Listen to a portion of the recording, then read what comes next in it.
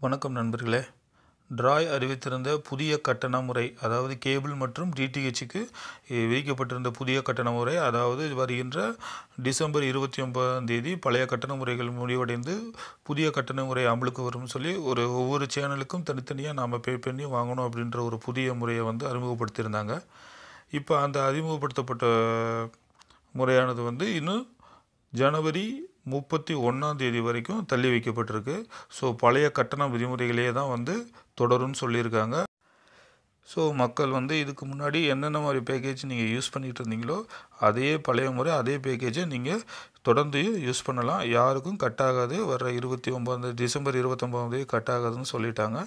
So நம்ம அடுத்து வருகிற ஜனவரி முப்பத்தி ஒன்றாந்தேதிக்கு மேலே நாங்கள் மீண்டும் இந்த முறையை வந்து கொண்டுட்டு வருவோம் அப்படின்னு சொல்லியிருக்காங்க. அது வரும்போது பார்த்துக்கலாம்.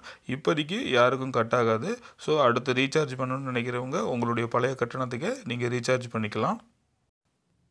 அடுத்து நியூ கனெக்ஷன் வாங்குறவங்களுக்கு இந்த ஒன் இயர் பேக்கேஜ் மீண்டும் வருவதற்கான சான்சஸ் இருக்குது நான் போன வீடியோவில் சொல்லியிருந்தேன் ஒன் இயர் கனெக்ஷன் நிப்பாட்டிட்டாங்க அப்படின்னு. ஸோ இந்த அறிவு அறிவிப்புக்கு அப்புறம் நியூ கனெக்ஷனுக்கு ஒன் இயர் பேக்கேஜ் போட்டு கொடுக்குறதுக்கு நிறையா சான்சஸ் இருக்குது ஸோ நம்ம கன்ஃபார்ம் பண்ணிவிட்டு ஒன் இயர் கனெக்ஷன் இருந்துச்சுன்னா கண்டிப்பாக வாங்கிக்கலாம்.